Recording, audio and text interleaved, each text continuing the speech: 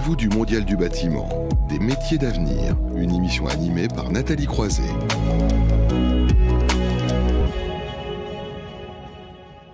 Alors dans cette euh, séquence, on le dit, hein, le secteur du bâtiment et de la construction embauche à tour de bras. Parfois, on peine à trouver de la main d'œuvre qualifiée, mais en tout cas, on a eu un message plutôt positif tout à l'heure sur l'attractivité euh, de ces métiers et l'attractivité aussi pour les plus jeunes, de plus en plus engagés, on va dire, sur les sujets de, transition écologique et du bâtiment de, de demain. C'est tout l'enjeu du projet euh, Mayada dont on va parler à présent avec deux acteurs qui sont dans le Gard, donc en visio avec nous. Sophie Voisin, bonjour.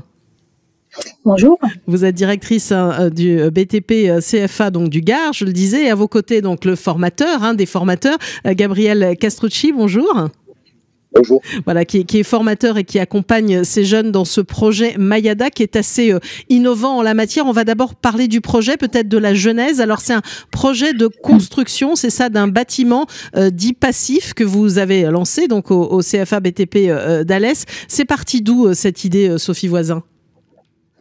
Alors l'idée de départ, en fait, c'est de permettre aux apprentis d'avoir une compréhension globale de la construction d'un bâtiment, puisqu'aujourd'hui, en fait, ils sont euh, dans leur métier respectif, mais ils n'ont pas forcément la possibilité, surtout sur des niveaux CAP ou brevet professionnel, de voir tout ce qui se passe en amont et en aval de leur, euh, de leur réalisation. Donc là, on a imaginé un projet euh, de construction dans lequel justement ils pourraient participer à la phase de conception, euh, qui est un temps aussi de partage avec un architecte et un bureau d'études, jusqu'à la phase d'exploitation. Et donc, eux, ils auront une action très concrète sur euh, la phase de réalisation, de construction du bâtiment. C'est eux qui vont le réaliser. Et ensuite, bien sûr, sur la phase d'exploitation sur la phase d'exploitation. Donc ça va être euh, l'idée, c'est un bâtiment. Donc c'est ça de 200 mètres carrés où on peut travailler sur toutes les innovations technologiques dans, tous les domaines. Hein. Oui, alors on est même maintenant sur 250. Chaque année, il un petit ça grandit un petit peu, d'accord. À la fois, euh, à la fois en, surface, mais aussi en, ambition. Donc effectivement, c'est un, projet de construction euh, à énergie positive. Ça veut dire que euh, nous devons avoir euh, une consommation en énergie la plus faible possible. Donc ce projet sera low cost. et, low tech et l'énergie que nous allons consommer sera produite par euh, le bâtiment. Donc, euh, nous sommes en train d'étudier justement la façon dont on, a, dont on va pouvoir euh, produire cette énergie pour le chauffage, pour l'électricité.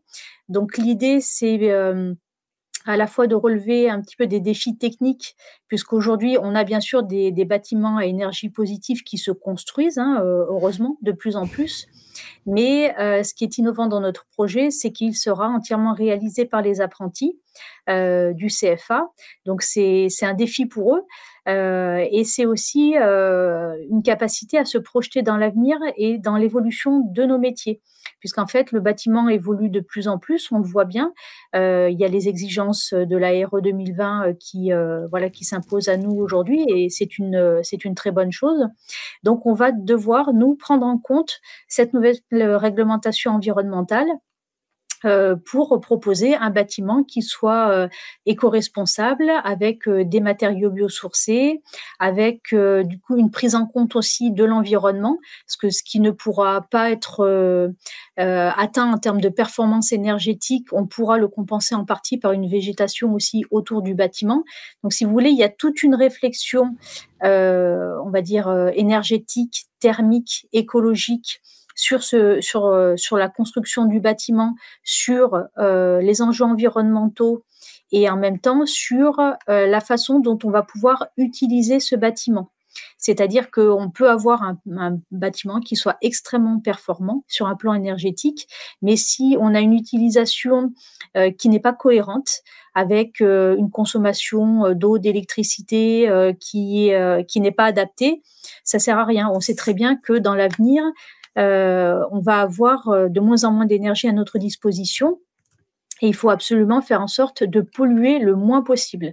Donc ce bâtiment aura une empreinte carbone très faible et il faut que nous, dans notre projet pédagogique, euh, on fasse prendre, prendre conscience aux apprentis que c'est leur, leur façon de faire qui va changer avant tout euh, bah, l'avenir de, leur métier et de leur, euh, et de leur vie personnelle. Alors, puisque vous parlez des apprentis, justement, je vais passer la parole à, Gabriel Castrocci, qui est formateur. Hein. Euh, qu'est-ce que ça représente pour vous, ce, ce, projet, et comment ça se passe avec les apprentis? Alors, comment ça se passe? Au départ, ça n'a pas été évident de les sensibiliser, justement euh, nouvelles méthodes de construction. Ah, c'est étonnant euh, parce qu'on dit souvent que les jeunes sont sensibilisés à ces sujets-là. On l'a encore dit, mais voilà, c'était pas si simple que ça. Non, c'est pas si simple. Hein. C'est pas si simple parce que euh, on le voit même dans leurs entreprises. Hein.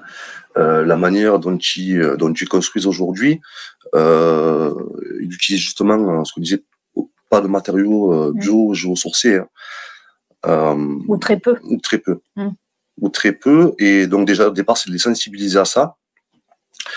Euh, les sensibiliser euh, à l'impact environnemental euh, de la construction en fait et l'impact carbone qu'a la construction aujourd'hui en France. et leur faire comprendre qu'il y a d'autres d'autres méthodes et d'autres manières de, construire.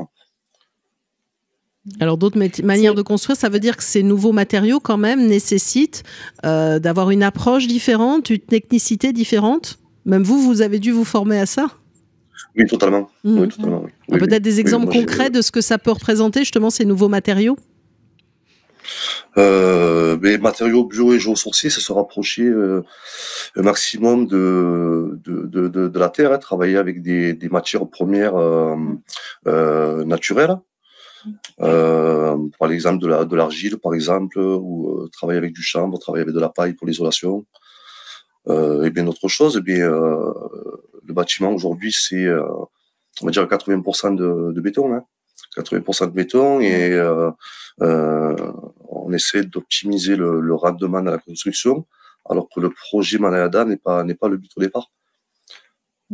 C'est vrai qu'on voit bien en fait que euh, y a des contraintes économiques aujourd'hui telles qui font que les entreprises vont prioriser des matériaux qui sont, mm. euh, qui sont accessibles, qui sont relativement peu coûteux et, et qu'ils ont l'habitude d'utiliser. Mais en fait, on se rend compte que finalement, c'est, euh, les fournisseurs ont fait un vrai travail, par contre, pour aller vers des matériaux biosourcés et leur utilisation, elle n'est elle est pas compliquée. Alors, elle peut être, euh, il peut y avoir un léger surcoût, mais quand on prend en compte, en fait, tout le cycle de vie du bâtiment, bah, les économies d'énergie qu'on va faire vont largement absorber euh, ce surcoût-là. Et surtout, euh, c'est vrai que Mayada, l'objectif, c'est ça, hein, c'est de faire découvrir aux apprentis bah, ce qu'il y a dans l'ère 2020. Donc, comme vous l'avez dit, nous, on s'est formé aussi en amont. Euh, bah, voilà, toutes les, toutes les nouvelles contraintes, enfin la réglementation aussi et les exigences par rapport euh, à l'empreinte carbone.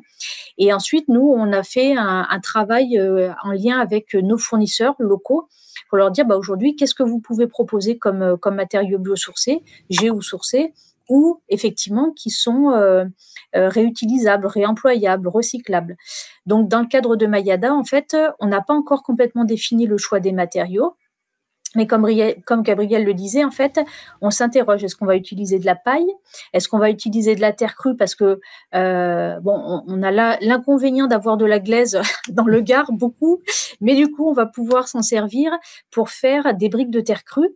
Euh, qui ont un atout fort euh, au niveau de la, gestion de l'hygrométrie, c'est-à-dire que cette terre-là, en fait, gère énormément tout ce qui est humidité et donc, ça fait euh, une, gestion naturelle de, de l'hygrométrie.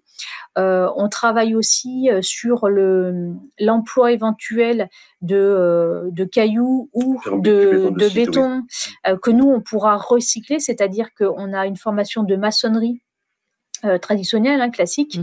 avec, euh, avec des quérons.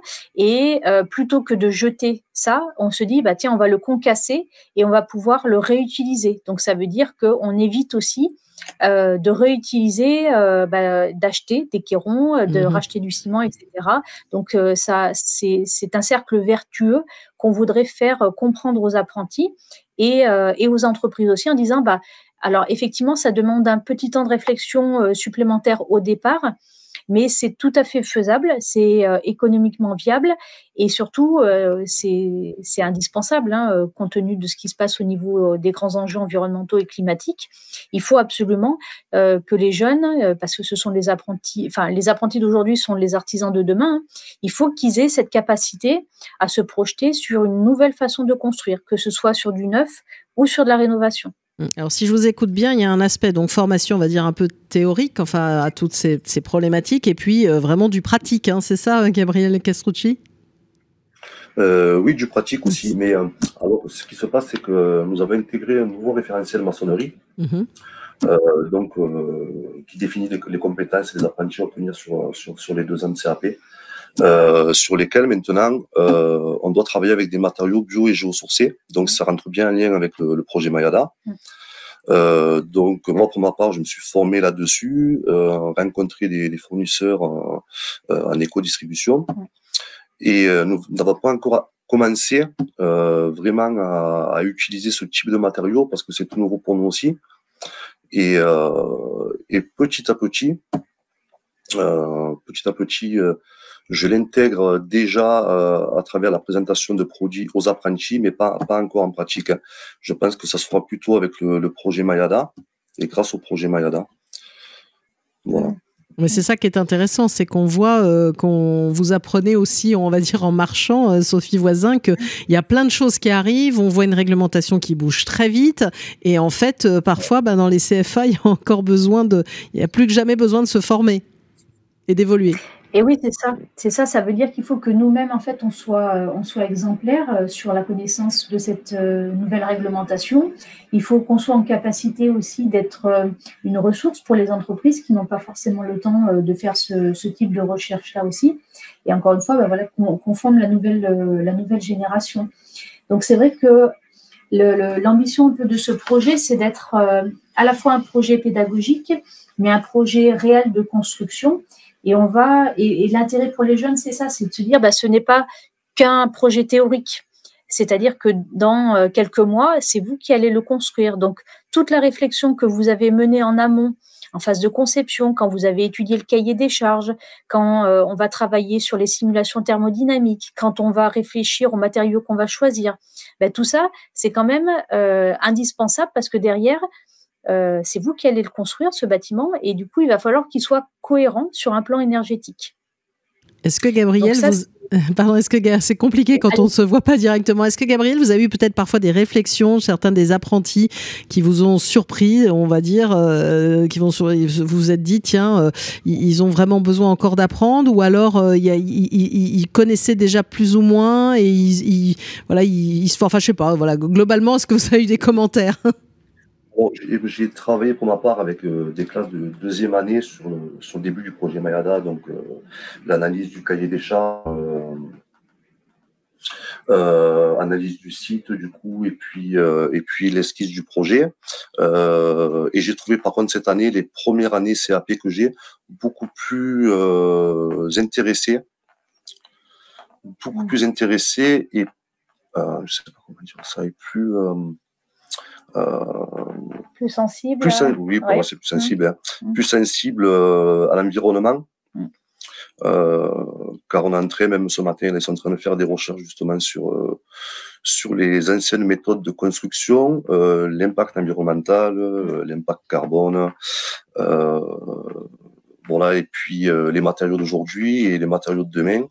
Donc, donc oui, quand même, et c'est ils, y sont sensibles, mais c'est vrai que, en fait, la, la difficulté, c'est d'initier au départ. Parce qu'en fait, ils ont, euh, ils ont des idées un petit peu préconçues.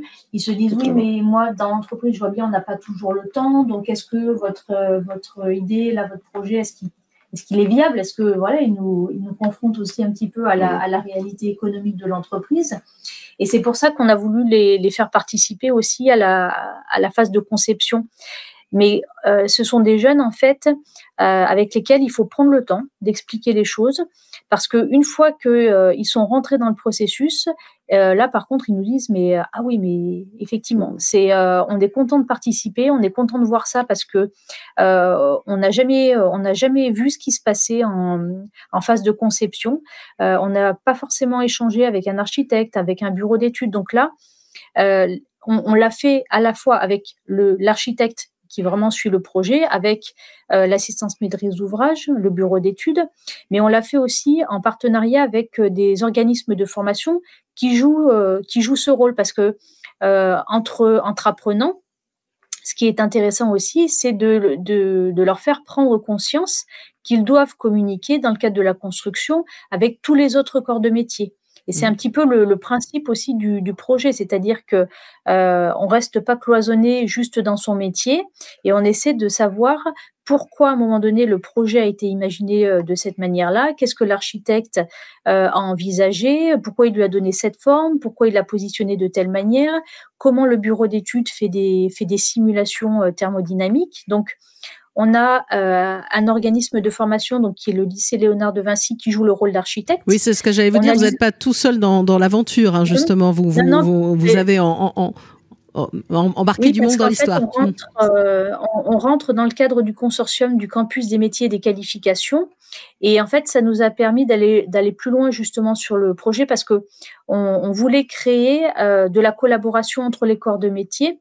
Mais là, du coup, ça nous a permis d'aller aussi sur un partenariat avec donc euh, un organisme de formation architecte et puis l'IUT de Nîmes qui joue le, rôle de bureau d'études. Donc il y a déjà eu plusieurs interactions entre les élèves, les étudiants, les apprentis, l'explication euh, du projet pour que chacun se l'approprie correctement, euh, des simulations sur euh, des esquisses et puis du coup des propositions. Et chacun en fait à son niveau va pouvoir dire bah le cahier des charges au départ, c'est les apprentis qui l'ont qui l'ont défini, donc qui l'ont qui l'ont donné à Léonard de Vinci qui joue le rôle d'architecte, disant attention, il faut qu'il y ait ces toute cette réglementation qui soit prise en compte et il faut aussi que vos esquisses puissent prendre en compte ce que nous on est en capacité de faire sur du CAP ou du, BP maçonnerie, génie climatique, etc. Euh, et, après, donc maintenant, on est plutôt sur une phase où on va démarrer euh, justement les simulations thermodynamiques avec le bureau d'études pour dire, ça y est, l'enveloppe est définie, mais en quoi on va construire ce bâtiment pour qu'il soit euh, à la fois respectueux de l'AR 2020, mais... Quelles sont les compétences techniques des, apprentis, en fait? Qu'est-ce qu'ils peuvent réellement faire eux-mêmes? Mmh. Et vous, ça a changé votre métier aussi de formateur, ce projet-là, Gabriel Castrossi euh, alors, euh, moi, je suis formateur depuis peu, ça fait un an et demi euh, seulement, mmh. mais, mais totalement, hein, je ne l'envisage pas comme ça au départ, hein, et je suis vraiment ravi de participer à ce projet, mmh. qui est quand même un défi. Un défi vraiment pour nous, autant dans la pédagogie et justement la mise en, en relation avec les, les soucis techniques qu'on va rencontrer. Donc non, c'est un super projet, c'est un super projet qui s'inscrit sur, sur 5 ans, 6 ans. Oui, ça, voilà, ça s'inscrit sur 6 ans. Donc là, en fait, euh, il n'y a pas encore de la, première pierre, si je puis dire. On peut l'espérer à quel horizon, Sophie Voisin? Alors la première pierre sera euh, quand même sur 2023. Euh, donc, puisqu'en fait, là, on est en train de, de, finaliser la phase de conception, on va déposer le permis de construire là ce mois-ci, à la fin du, à la fin du mois. Euh, en septembre, on va démarrer toute la phase de terrassement. Ensuite, on va faire les fondations.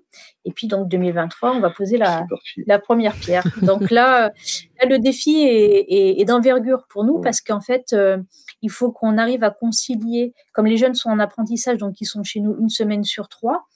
Donc, on a tous les corps de métier qu'il va falloir réussir à concilier mmh. en termes de, planification, de compétences, euh, de transmission de, de savoir-faire, etc. Donc, c'est c'est un défi, mais en même temps, c'est assez euh, enthousiasmant parce que euh, je pense que les, apprentis qui vont participer à ce projet vont en garder un, très bon souvenir parce qu'ils vont se dire, bah oui, en fait, on peut construire euh, un beau bâtiment qui soit performant et qui soit respectueux de l'environnement. Mais alors, six ans, vous n'aurez pas les mêmes apprentis? Il va falloir les reformer à chaque fois. C'est ça aussi, c'est un sacré défi. En plus, oui, oui, on s'est dit que c'était trop facile. Sinon, il y en a certains qui ont déjà travaillé sur le cahier des charges et qui ne sont mm. plus là, malheureusement, qui étaient déçus un petit peu de ne plus faire partie du CFA parce qu'ils mm. ont fini leurs études, mais, bon, ils ont participé Mais c'est l'intérêt aussi, c'est de, de créer du lien, c'est-à-dire que ceux qui ont participé au début, bien sûr, on va les inviter à, à venir voir et à suivre en fait euh, le bah, l'ensemble du de la construction et puis qui voient le, bâtiment se construire au fur et à mesure en disant bah oui tiens là quand on avait préconisé ça euh, là finalement vous avez pu ou pas le mettre en œuvre pourquoi etc et et l'idée, c'est que ce, ce, bâtiment serve aussi un petit peu de, de laboratoire, parce qu'en fait, on va pouvoir mettre des sondes, on va pouvoir euh, suivre la consommation d'énergie, parce que entre les simulations théoriques qu'on aura fait, est-ce que la pratique par rapport à la consommation et l'utilisation qu'on va en faire de ce bâtiment, est-ce qu'on sera tombé euh, juste? Euh, Donc si oui, euh, c'est, ce sera une bonne chose. Sinon, est-ce que ça veut dire que dans notre utilisation, on n'a pas été suffisamment euh, euh, éco-responsable ou est-ce que le choix des matériaux n'était pas tout à fait adapté, etc. Parce que y a, ça reste nouveau, ce mmh. type de bâtiment. Donc euh, c'est intéressant aussi, de manière concrète, de dire on ne prétend pas faire quelque chose de parfait. Par contre, on prétend tendre vers des nouveaux modes de, de, de construction qui soient plus respectueux et on va tester ça, on va le vérifier. Et si euh, c'est pas adapté, ben certainement qu'on ben on va changer. Euh, on peut faire euh, des systèmes, on peut modifier des systèmes d'ouverture, on peut changer aussi l'isolation, on peut changer des, enfin, on peut végétaliser davantage au niveau du bâtiment pour justement renforcer le confort d'été, des choses comme ça. Voilà. Mmh. Et, donc tout ça, ça sera mesuré. Et j'imagine aussi peut-être les, les, autres CFA vont vous regarder, venir voir aussi. Vous allez avoir une, on va dire une valeur d'exemple dans cette dans ce projet qui est assez unique en son genre. Oui, oui, bah, il, est, euh, il, est unique, euh, il est unique en France. Hein, donc, euh, effectivement, on commence déjà à avoir une reconnaissance un petit peu au niveau national parce que c'est une expérimentation qui est, qui est assez, assez longue et assez compliquée à mettre en œuvre. Donc, tous les résultats qu'on pourra obtenir de cette expérimentation permettra justement à d'autres organismes de formation d'en bénéficier et peut-être d'être reproduits. On fait faire des petits mayadas partout en France après. Exactement, puisque c'est l'objet, hein, comme vous le dites, vous êtes en train de former au bâtiment de demain, donc euh, ça peut concerner euh, tout le monde et tous les, tous les apprentis. Euh, et, pour la prochaine étape, je crois une opération aussi de, de crowdfunding, c'est ça, Sophie Voisin? Exactement. Donc en fait, le, la campagne crowdfunding, elle a, elle a deux objectifs. Hein.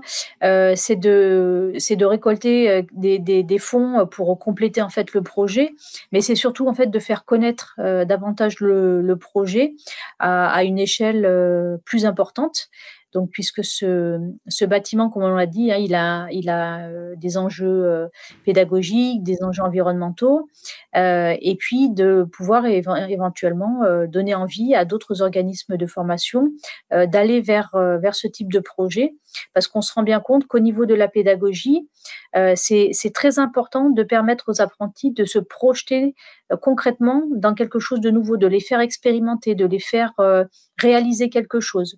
Et la notion de, de, beau dans ce bâtiment euh, est important parce qu'il faut qu'ils soient fiers d'eux. Et au niveau pédagogique, on travaille énormément aussi sur des aspects euh, culturels et artistiques avec les jeunes parce qu'on se rend compte que ça les ouvre sur une nouvelle dimension euh, ils se découvrent des, des, capacités, des potentiels qu'ils ne connaissaient pas parce qu'ils sont tout jeunes. Hein, ils ont, euh, quand ils arrivent, ils ont 15, 16, 17 ans. Donc, ils se connaissent assez peu. Ils ont souvent un manque de confiance. Et le fait d'appréhender aussi euh, le monde du bâtiment sous une forme artistique, hein, à mmh travers de, la réalisation de chefs-d'œuvre, à travers des ateliers d'expression, on se rend compte en fait que euh, bah, ils, vont, ils vont aller plus loin, ils vont se donner davantage, euh, ils vont devenir passionnés de leur métier, mais à travers euh, à la fois des aspects techniques et des aspects artistiques. Et, et ça fait des, des, femmes et des hommes beaucoup plus accomplis et beaucoup plus engagés. Mmh, oui, et des femmes, vous l'avez dit, parce que c'est important aussi dans ces métiers, les, les femmes. Gabrielle Castrucci, un, un, mot, un mot de conclusion à tous les deux, Gabrielle Castrucci? Euh, Un mot de conclusion. euh, alors, euh, quoi vous dire? J'espère que euh, qu'on réussira à, à, concrétiser ce projet euh, dans le bon sens, avec, euh, avec un pendant beaucoup de plaisir. Vraiment que les apprentis prendront du plaisir aussi, euh, qui se rendent compte du coup qu'il y a d'autres manières de, de, de, de, voir les choses hein, et de, de, se rapprocher, euh, de se rapprocher de, je veux dire, dans la nature, de, de, de l'environnement, de, de ne pas chercher euh, des comment dire des matériaux de construction. Euh, pas besoin d'aller loin pour les pour, pour les trouver. Hein. On peut ramasser. Hein. Je sais qu'avant ils construisaient avec les matériaux de proximité. Euh, et aujourd'hui, nous ce qu'on veut faire, c'est ça, c'est revenir à, à, ces méthodes de construction là, donc en, privilégiant ces matériaux là et naturels. Euh, j'espère que ça voilà. Euh, ça les fera grandir et, et, puis, et puis nous le CFA aussi parce que c'est vraiment une, une, une belle expérience. En quelques mots, Sophie Voisin euh, oui, effectivement, je, je, rejoins Gabriel sur le fait que c'est important de redonner euh, du bon sens euh, dans le monde de la construction qui est tiraillé par, euh, par différents enjeux, de retrouver euh, des méthodes de construction qui sont très naturelles et, et qui simple. ont fait leur preuve, enfin, simple, finalement. qui existent depuis des centaines d'années, ça marche bien, mais voilà, on est dans une, dynamique un petit peu de rentabilité, de rapidité, euh, et qui n'est pas toujours euh, adapté à ce, à ce milieu-là. Donc revenons à des choses essentielles, revenons aussi à de la relation humaine, à des valeurs humaines, parce que c'est aussi ça le projet Mayada, c'est de se dire, bah, tiens, si je vais communiquer avec, euh, avec mes collègues, bah, peut-être que je vais éviter de faire un certain nombre d'erreurs. Tout ça, je vais prendre juste un peu de temps pour comprendre ce qu'il fait, pour euh, m'adapter aussi un petit peu à l'autre, pour prendre en compte ce dont il a besoin. Et puis, euh, ça facilitera le travail de tout le monde.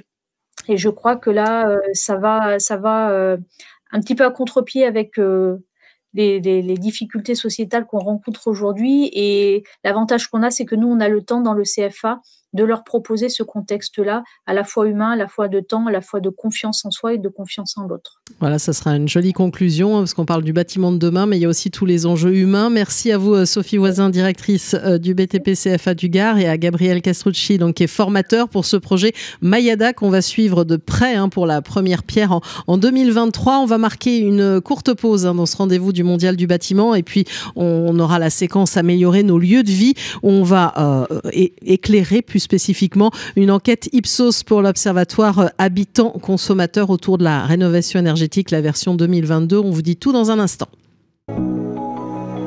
Les rendez-vous du Mondial du bâtiment, des métiers d'avenir, une émission à retrouver et à réécouter sur le site de Bâti Radio.